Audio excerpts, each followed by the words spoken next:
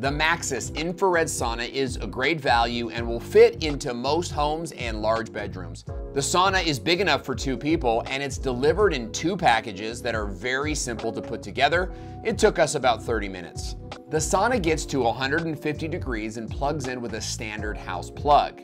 There are six infrared heating panels, two on the back, one on each side, one on the seat, and another on the floor for relaxing foot reflexology.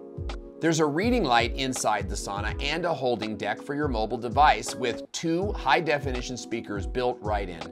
It takes about 10 minutes for the sauna to get warm and it's great for breaking a sweat. About 20 minutes every morning is good for me.